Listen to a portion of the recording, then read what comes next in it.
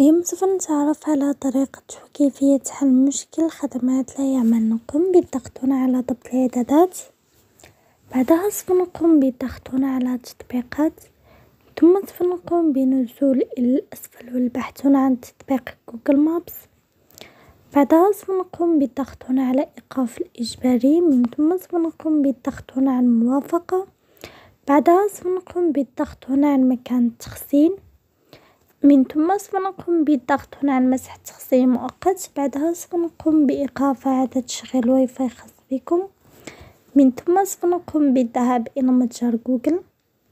هنا سوف نقوم بالبحث عن تطبيق جوجل مابس. سوف يظهرنا على هذا الشكل وعندما تجدون هنا تحديث قم بضغط عليه وسيتم تحديث تطبيقكم جوجل مابس. وبهذه الطريقة نكون قد قمنا بحل المشكلة. ولا تنسوا الضغط على زر لايك والاشتراك في القناة.